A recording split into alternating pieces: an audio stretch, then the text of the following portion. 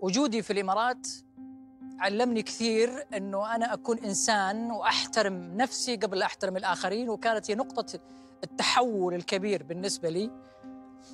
بس في نقطة مهمة لازم أذكرها إنه أي شخص بينتقل من فكر لفكر وفي شهر أو في سنة ترى كذاب.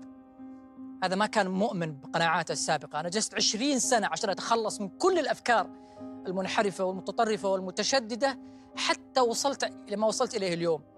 أنا اليوم ما أقول إني كامل لكن أقدر أقول إنه تخلصت بنسبة 99.99% من كل فكر منحرف متخلف تعلمته في تلك الفترة.